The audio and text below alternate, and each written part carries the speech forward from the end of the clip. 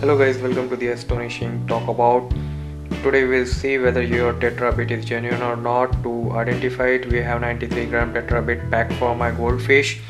Uh, we realize that some hobbyists have generally got duped. Most of us hobbyists seem to have doubt on the tetra tetrabits if they are original or not.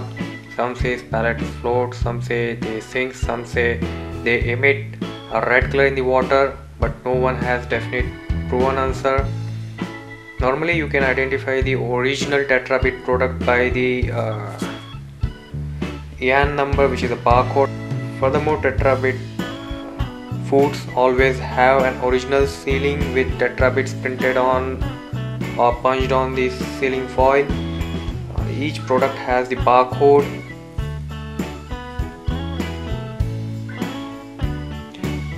Your tetrabit container will have the lead with the tetra logo at the top and at the bottom there will be batch number and expiry date. As company mentions this sealing foil will carry the tetra logo in either printed or embossed form. Hey thanks for watching this video. And don't forget to subscribe to our youtube channel Apps Talk About